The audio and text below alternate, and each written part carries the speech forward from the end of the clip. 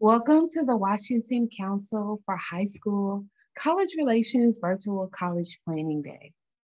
My name is Jasmine. I'm going to serve as your facilitator for our session today. Before we get started, I have a few housekeeping announcements. The first, you can use that Q&A feature to type your questions to our presenters at any point throughout our session today. Second, your camera and microphone are off so we cannot see or hear you. Third, this is just one of many different sessions that we're offering, so feel free to visit our registration site to sign up for additional sessions. And finally, this presentation is being recorded and you'll have access to that recording within about a week or so. With that said, I wanna go ahead and introduce our first presenter from Eastern Washington University.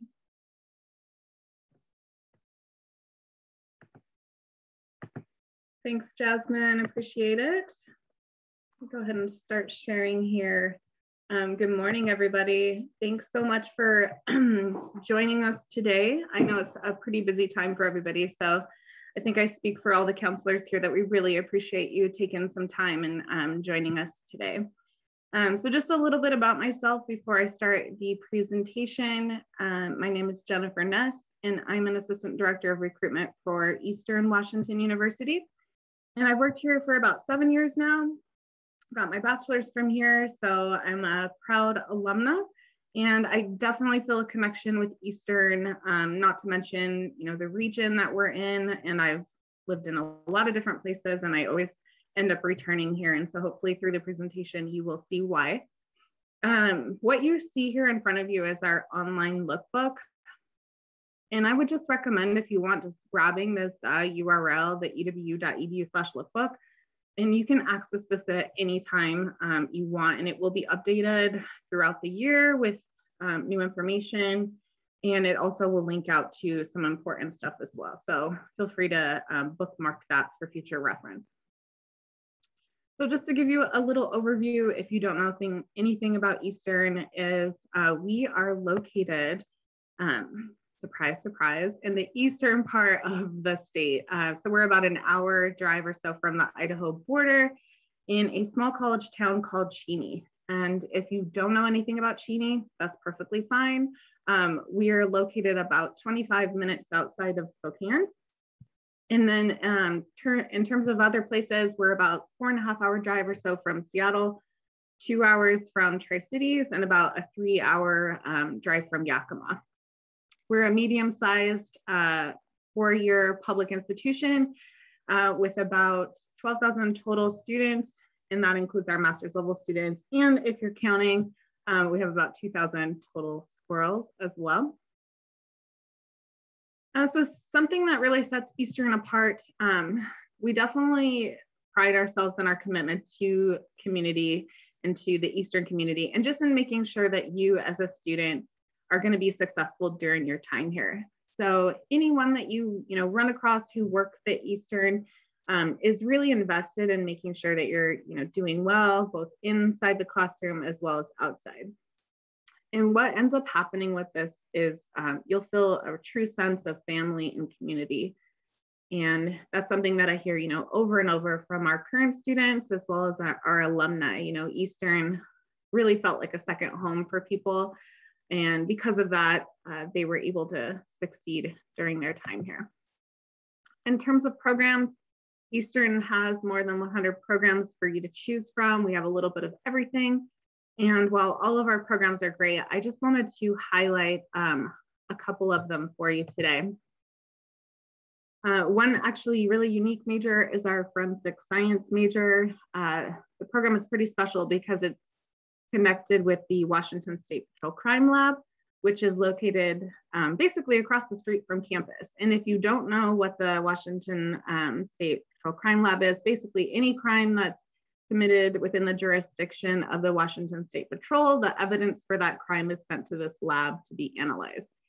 So our students in this program are able to get that hands-on experience working on real forensics and real crimes so really kind of giving them that edge in the job market. Also, um, you know, all of our majors in the business school, including uh, majors like, you know, supply chain management, data analytics, marketing, and so on. Um, they are all AACSB accredited. And what that means is our students are enrolled in one of the top five percentage of business schools in the world. And as a result, they tend to receive, you know, better salaries once they start working. Um, they have employers reach out to them, you know, pretty early on.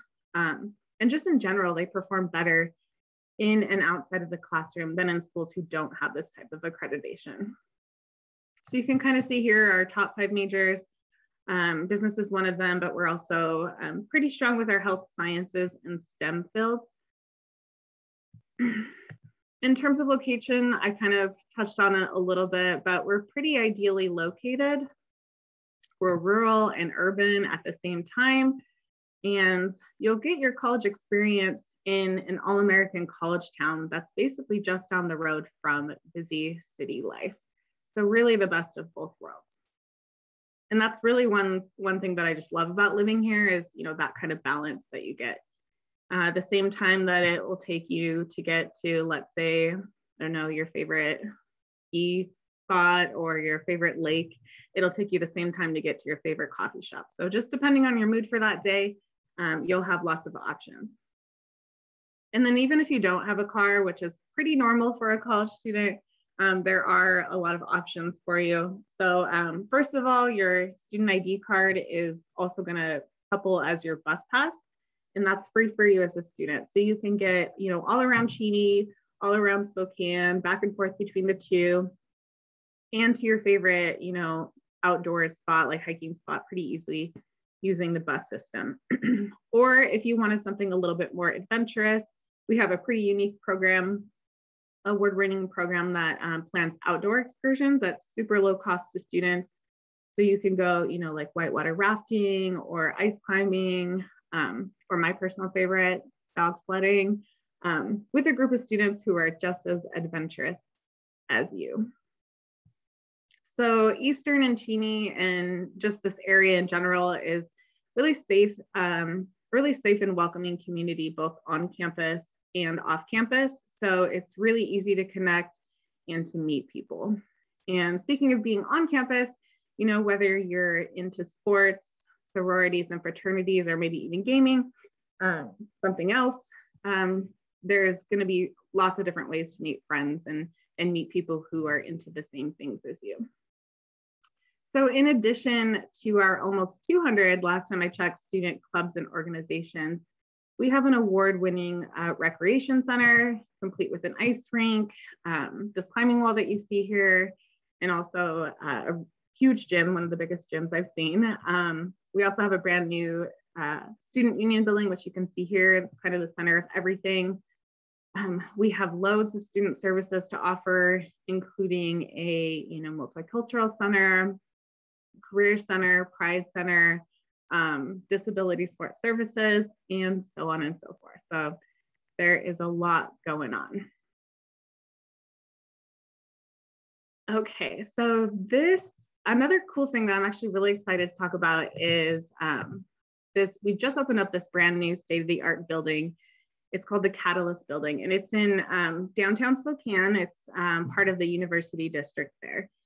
And the cool part, and I'm sure you're wondering like, why on earth is this lady showing you this building? Like, who cares? But basically, this building has an energy footprint of zero. So I think it's pretty special. Um, and that makes it one of the most sustainable buildings in the whole country.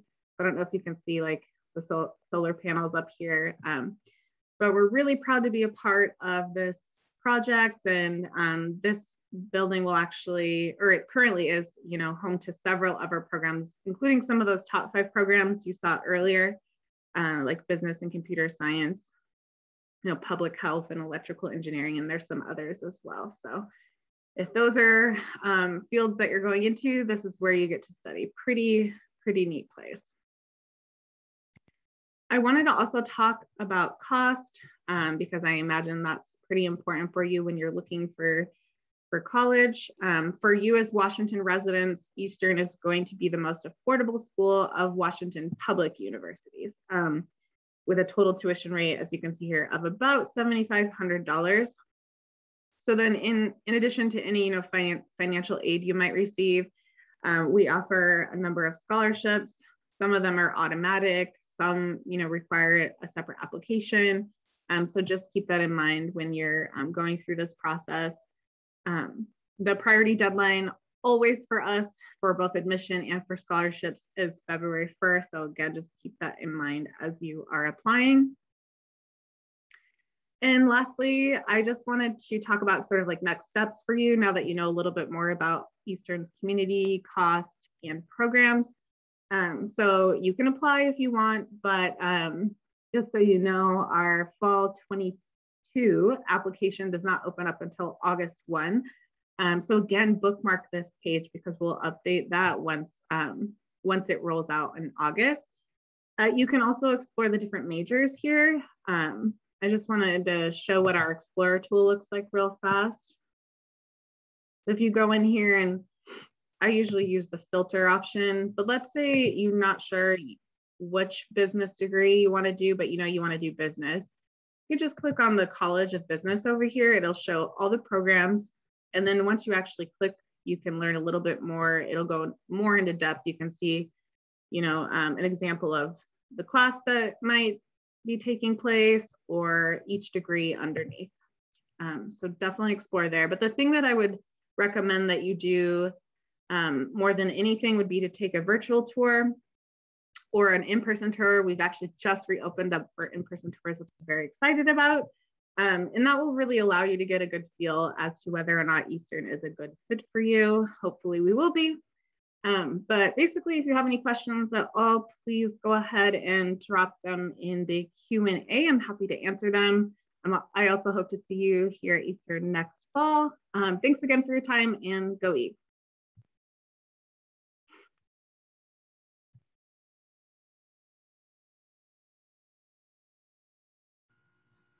Good morning, everyone.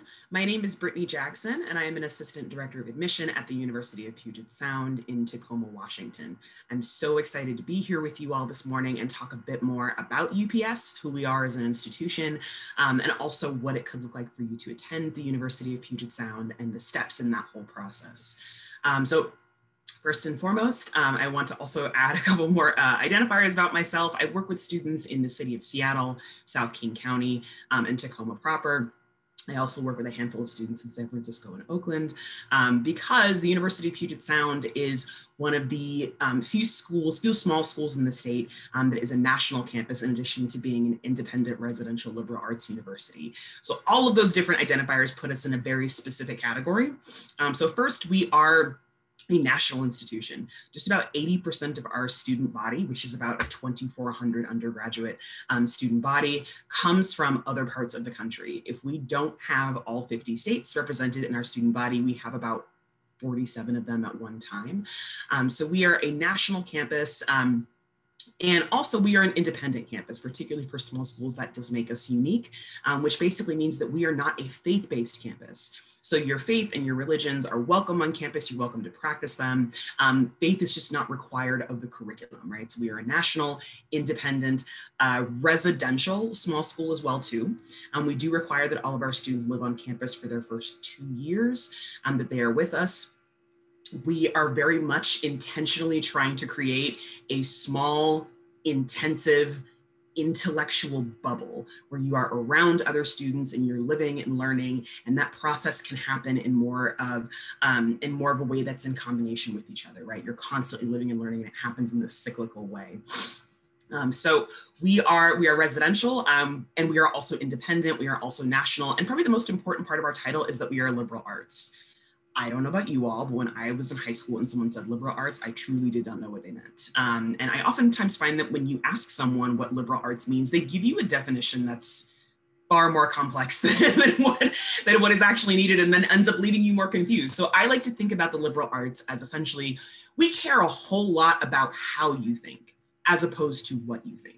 We spend a whole lot of time talking about what is going to get students to engage in their critical thinking, right? So trying to develop that thinking process where when information comes in, you can just vet things and you can decide for yourself what that pathway and what the proper pathway forward is, right? That critical thinking process. We don't really care what you think, we really care how you think. Um, and we fundamentally believe that the only way someone can develop a critical thinking process and can develop a strong way of thinking, right? A process for thinking is if they have access to as many areas of study as possible.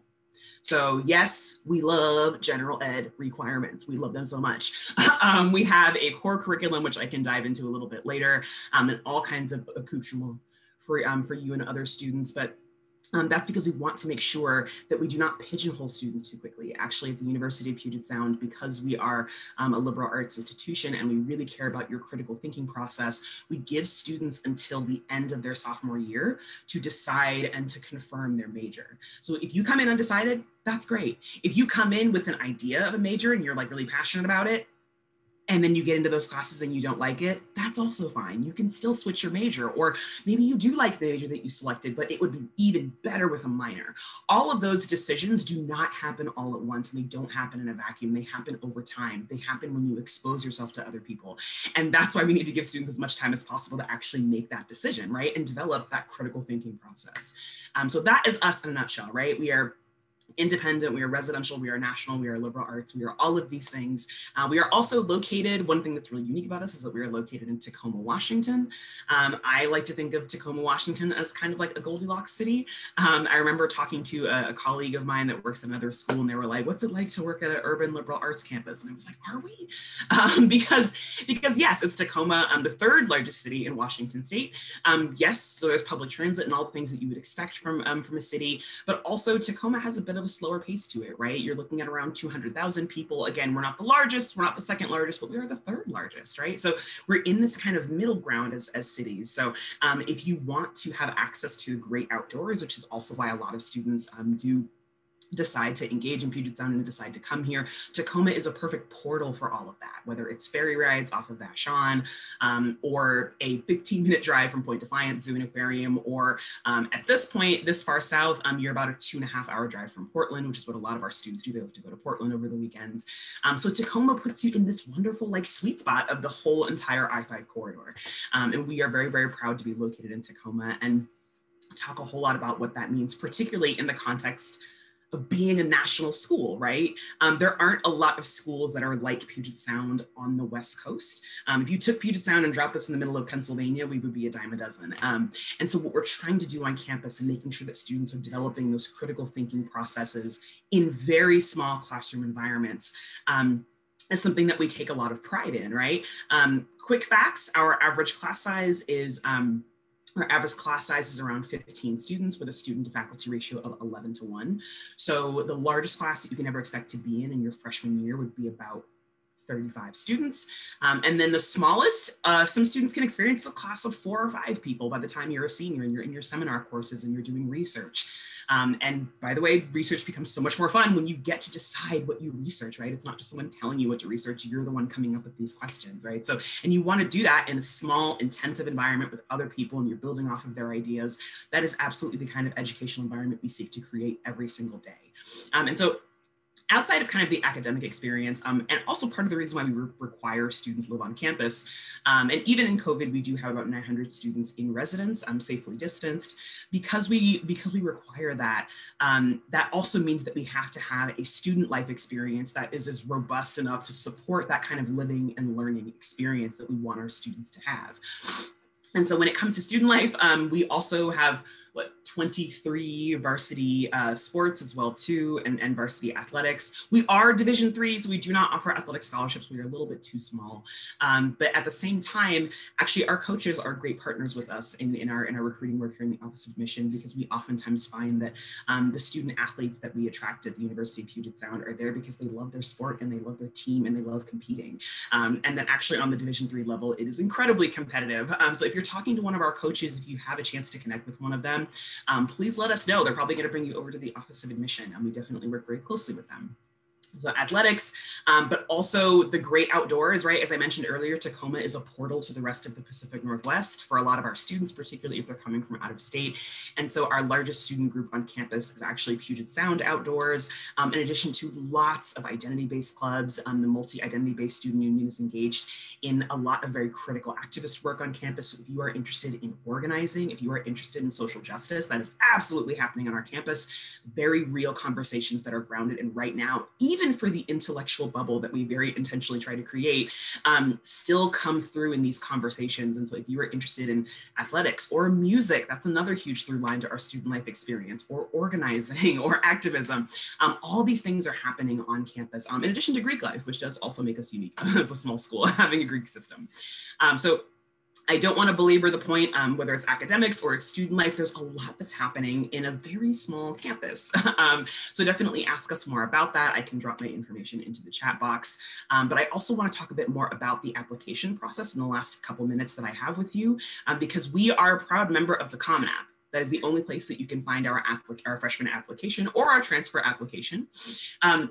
And as a member of the Common App, we are one of those schools that requires a big college essay, um, which if you have more questions about, please send them to me. I love talking about and unpacking what this personal statement is and the college essay and even the entire nuts and bolts of the Common App process, because it's a lot to go through. So um, being as mindful as possible in that process takes a lot of work. And that is also what my colleagues and I are here to support you through.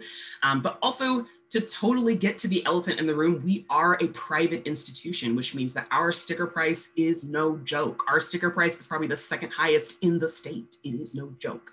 Um, that said, because we are a private institution and we do charge the same rate for students that are in state and out of state, that means we have to show up with the scholarship money, right? We have to be serious about how we support our students and be as mindful as possible with financial aid so that we can still make sure this type of education is accessible. Um, and so most students most students that apply will actually have half of the total cost of attendance met with simply the scholarships they earn from sending us their application. Um, every student that applies to the University of Puget Sound, if you are admitted, you are getting a merit scholarship. It's not a matter of if you get money, it's more a matter of how much. Our merit scholarships start at 15,000 and they cap actually at $26,000 um, and you can still earn more money from there. If you come in with a 3.6 cumulative unweighted GPA, you can also, uh, you're eligible to learn to earn more money um, in that scholarship process. So um, if you have more questions about our academics, student life, our location, um, or even just questions about, or, or, even some questions and, and, and comments that you have about a private school and applying to a private school and what that actually means, I'm definitely here as a resource. Um, I'll be able to drop my um, email in the chat. Um, my name is Brittany, and thank you so much for your time.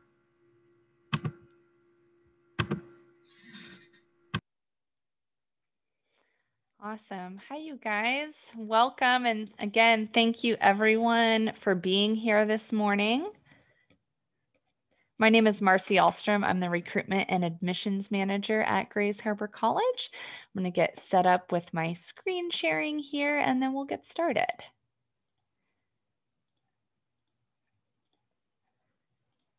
All right. So, um, yeah, welcome again, everyone. Um, as I mentioned, my name is Marcy Alstrom. I'm the recruitment and admissions manager at Grays Harbor College. Uh, Grays Harbor College is a community and technical college located in Aberdeen, Washington. That's where our main campus is. Uh, we also have locations in Raymond and Ilwaco. So we are one of Washington's 34 community and technical colleges. We primarily serve Grays Harbor and Pacific County, which is in Western Washington. We're about an hour southwest of Olympia, Olympia here, about an hour um, west of Centralia Chehalis if you're going to our Raymond campus, and then much further south if you're visiting Ilwaco. Um, Grays Harbor College is celebrating our 90th year, and this year we were founded in 1930. Um, so we've been serving Grays Harbor and Pacific counties for a long, long time. We're um, really, really proud um, to serve our region and uh, love, love the area that we're in. Um, our Aberdeen campus is a beautiful 40 acre campus um, on a bit of a, a, mountain cliff, I like to jokingly say. Um, we're on a steep hill. Um, so the difference between lower campus and upper campus, as you can see here um, on the picture for Aberdeen campus, um, one of our many stairways to upper campus, this one is called Heart Attack Hill, and then we are also have Cardiac Lane. Um, don't worry though, we have parking on upper campus as well. So you don't have to take the stairs, but um, it's a really great workout if you'd like to every day. So, a little bit about Grays Harbor College, who we are. Like I mentioned, we're one of 34 community and technical colleges in Washington state. We offer a variety of different academic programs. Um, so, really, no matter where you're at in your academic journey, Grays Harbor College has something for you. We do offer short term certificates and high school diplomas for folks either just getting started in their education um, or you know wanting to just get that short term certification. Um, for associate degrees, we have a combination of both transfer degrees and workforce degrees. Really, the difference there is our transfer degrees are a great fit for students who um, really want to get the foundational two year associate degree before transferring on to a university to go on for their bachelor's. And our workforce degrees are more community and technical programs uh, that are focused on students getting the hands-on experience that they need before stepping right into a career afterwards. We also have a number of Bachelor of Applied Science degrees, three to be to be specific. We have a Bachelor of Applied Science program in Forest Resource Management, organizational management, and teacher education. So if you want to get your kindergarten through eighth grade teaching certification at GHC, we have that program. We are one of the smallest community and technical colleges in Washington state.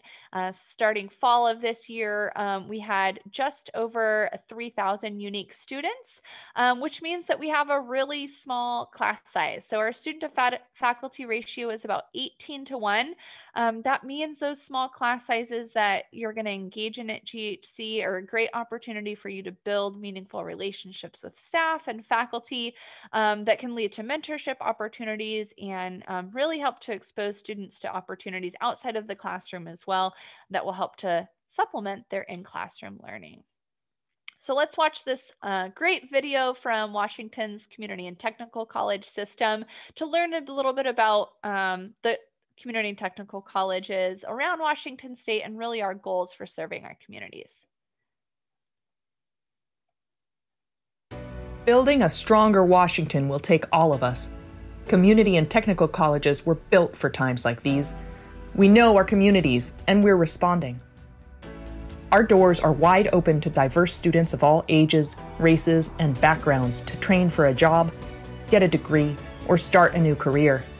To create a strong and inclusive economy, it's the right thing to do for students, for employers, for Washington, Washington's community and technical colleges. Awesome. So, um, why choose Grays Harbor College? You know, first and foremost, when you start at Grays Harbor College, or if you finish your degree with us, you're going to get a really high quality education. Like I said, Grays Harbor College has been around for 90 years serving Western Washington. Um, many of our, our programs are really built and meant to serve the local economic needs. So I mentioned that Bachelor of Applied Science and for, Forest Resource Management. We know um, that forestry and logging and really natural resource management is a big part of Western Washington's economy. Um, so you can expect that the education you get at GHC is a really high quality and that it, you know you're going to be getting an education that um, is going to meet the economic and labor needs of, of Western Washington. I mentioned also the value of small class sizes that you'll get at GHC. And also, Grays Harbor College is a really affordable cost. Um, I'm sure, as many of you know, starting your education at a community or a technical college is a really, really great way to ensure that um, you know the education that you're getting especially higher education is uh, affordable it, whether your plans are to transfer on to a university um, or to like i mentioned finish your degree with us and then go on to the workforce um, community and technical colleges are a great way to ensure um, a really high value for that education and of course we're conveniently located in aberdeen Reno, and and online So, you know, what can you, what kinds of programs can you expect to find at Grays Harbor College? We have several different kinds of programs. Um, here, you know, I did mention we have high school completion, certificates, transfer degrees, workforce, and and of course a few bachelor's programs. Um, but really it's it's best for students to explore what are your interests um, what kind of area of or study or college and career cluster are you interested in and so you can look at our areas of study and maybe find a program that's of interest to you we have arts and humanities education business career and technical education. A few of our more hands-on programs include automotive, carpentry, um, diesel technology, and welding. Um, of course, our nursing program and medical assisting are also really hands-on. Uh, we have a few other allied health profession degrees and science, technology, and engineering. And that Bachelor of Applied Science and Forest Resource Management falls under STEM as well. So um, at Grays Harbor College, we have really a family culture, a family environment. Lots of student support services at our college. Um, our, our faculty and our staff are here to help make sure that students are successful both inside and outside of the classroom. So uh, you can find in our Student Support Center um, services like the Running Start Center, uh, Veteran Services, Disability Supports. And we have a really engaging student life on campus. Our Diversity and Equity Center is a great way for students to get involved uh, in clubs and student government. Um, and of course, we also have the Bishop Center for Performing Arts, which we'll look at in just a few minutes, where students can be involved in plays, musicals, uh, musical performances as well. Our academic support building is home to our the John Spellman Library, the Writing Center, Learning Center, Reference Desk, and TRIO student support programs.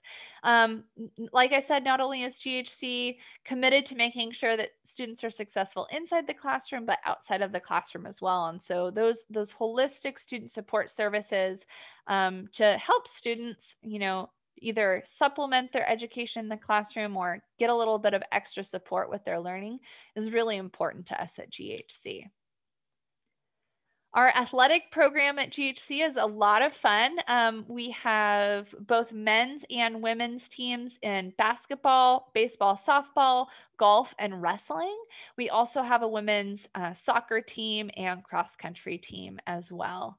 Um, our Brewster Athletic Complex is a really fun place for a lot of different students um, and a really great place to, to get involved on campus.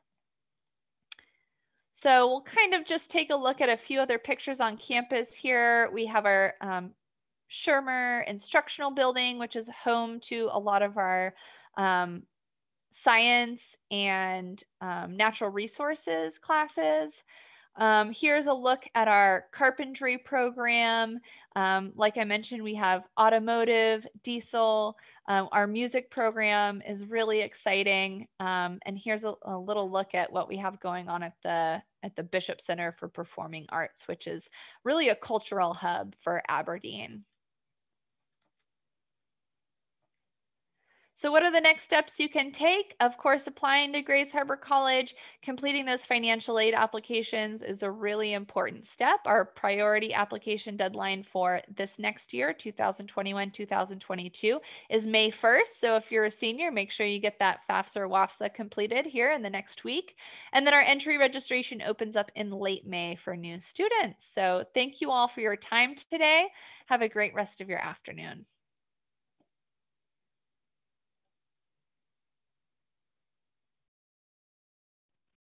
Thank you to our amazing presenters. With that said, this concludes our virtual college fair for today. But I have a few closing announcements. One, I want to share that as you exit this Zoom session, a survey will appear. It's approximately four questions, but please complete the survey. It's extremely useful as we aim to improve our virtual college fair offerings in the future. Also want to remind you that you can sign up for additional sessions by visiting our registration site. And finally, a recording will be available within about a week or so. With that said, I want to thank our amazing presenters for joining us, but I also want to thank all of our attendees. I hope everyone has a great day. Thank you.